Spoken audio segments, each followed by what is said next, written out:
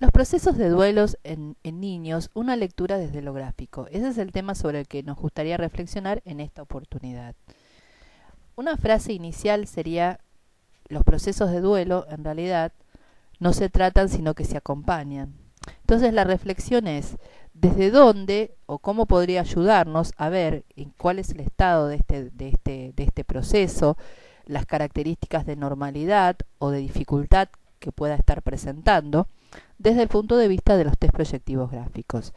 Si pensamos aquellos test que se relacionan más con el aquí y ahora, no porque no nos den aspectos estructurales o característicos de la personalidad, sino que justamente tienen el valor, aparte, digamos, de mediatizar aspectos que tienen que ver con la realidad emocional y psicológica del niño y su entorno en el aquí y ahora.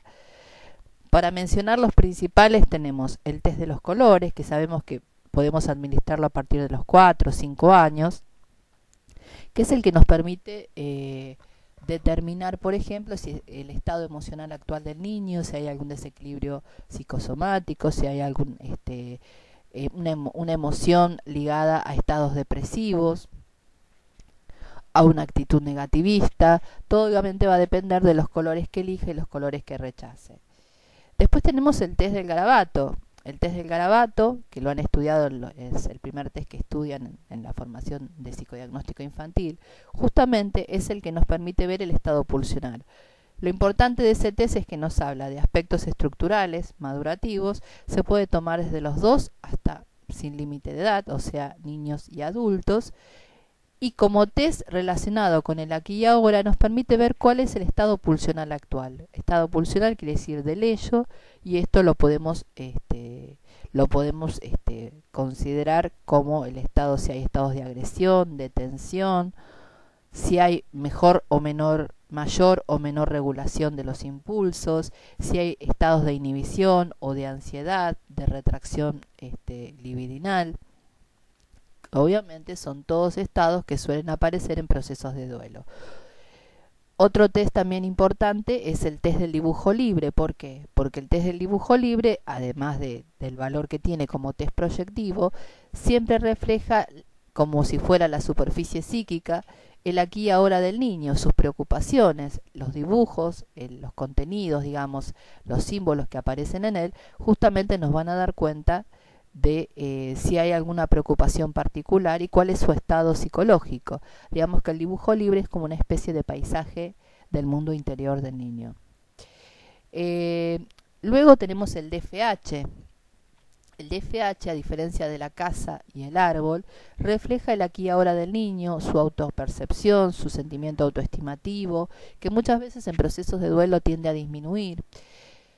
Eh, nos da cuenta también de cómo percibe el entorno. Entonces ahí vemos los tamaños, vemos el tratamiento gráfico, tenemos para aplicar también los indicadores emocionales planteados por Kopitz para el dibujo de la figura humana. Idem también con el test de Bender. Más allá de lo madurativo, acá estamos tratando de ver solamente estado emocional, si hay alguna característica que esté, esté sobresaliendo los indicadores emocionales, porque lo madurativo siempre está, está de base, pero a veces lo emocional empieza a hacer fuerza, digamos, y termina afectando también a lo evolutivo. Em, y luego al test de la familia, que es el que hemos elegido para comentar. El test de la familia quizás es el más movilizante siempre, más allá de que no haya un proceso de duelo. Siempre es, es incómodo cuando hay un motivo de consulta, cuando hay una conflictiva en el niño importante o significativa, ¿Por qué? Porque como que lo conecta directamente, así como el dibujo de la figura humana conecta con el sí mismo y como, como la persona se siente en ese momento, el dibujo de la familia es cómo está percibiendo su realidad familiar y cómo él se incluye y se percibe en esa realidad familiar, las interacciones que realiza o no realiza con el resto de los miembros. Es por eso que consideramos muy importante la administración del test de la familia, más allá de la, este, de la forma, como ya hemos comentado también otras veces, que hay muchas formas de administrarlo. En este caso se trata de un dibujo de la familia simple, digamos, el tradicional, el no kinético, digamos, es dibujar a tu familia. Y acá lo significativo justamente es que la niña, que es la que se, se grafica al final del dibujo, dibuja a su mamá. Se trataba de una, del motivo de consulta, era una niña que tenía trastornos de llanto en el colegio y en la casa también, algunos problemas de hostilidad o de comportamientos este, agresivos en el colegio, y esto se acrecentó, digamos, a partir de la muerte de su mamá.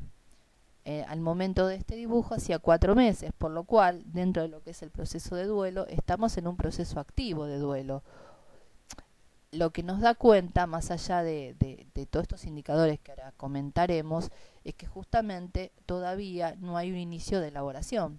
Al graficar la figura de la mamá todavía en la familia y sobre todo porque la dibuja también en el ángulo central, en el, perdón, en el centro de la hoja. Y significativamente le agrega un sol arriba, como podrán ver. Ese sol obviamente y está ennegrecido, los rayos están ennegrecidos, por lo tanto acá está lo paradójico que conviven dos estados emocionales. Algunas defensas maníacas que las podemos ver con la sonrisa, está el, suelo pero no se, no se pisa, las figuras están como en el aire, lo que nos da cuenta de un sentimiento de inestabilidad. Los cuerpos están todos totalmente sombreados, pero no es un sombreado leve, sino que es un sombreado con ennegrecimiento, al igual que el del suelo, que esto da cuenta de un profundo estado de angustia. Pero la angustia es una angustia con sentimientos de culpa, con sentimientos de frustración y de, eh, tensión importante. Eh, también significativamente la niña se hace cerca de su papá, y a las hermanas, digamos, que eran tres, las ubica del otro lado. Primero dibuja a la hermana, de, la, el, orden es de izquierda a derecha, así como quedó plasmado en la hoja, no hay una variación. Lo que primero dibujó, perdón, es la, la figura materna y después comienza por el de las hermanas. Así sigue de izquierda a derecha hasta finalizar con ella misma el hecho de haber dibujado a la, madre también, más allá de que todas las figuras tienen brazos cortos, los brazos cortos siempre dan cuenta de inhibiciones, dificultades interpersonales, de aislamiento, el de la figura materna es el que está más corto de todos. También es significativa la luna, perdón, la, la nube este, ennegrecida que se hace sobre la cabeza del padre, las nubes siempre dan cuenta de tensión y de ansiedad, pero al estar ennegrecidas también hay un signo de angustia, de preocupación, como que la niña proyecta que es su padre como que está este, también en un estado de angustia. O sea que en realidad lo que nos ha dado cuenta este dibujo es que hay un proceso activo de duelo.